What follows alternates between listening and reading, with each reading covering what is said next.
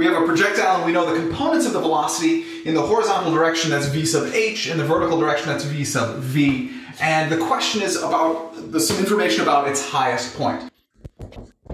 One thing that you should remember is that the velocity in the top in the y direction is equal to zero. That's because in the y direction it's going up and then it's coming back down, so it has a positive velocity and then switches to a negative velocity. Therefore, it must be zero at the very top. So the velocity in the y direction at the top is equal to zero. And in the x direction, there is no acceleration in the x direction because there's no force in the x direction. Therefore, that velocity in the x direction is constant and it will continue to have the horizontal component will just be VH.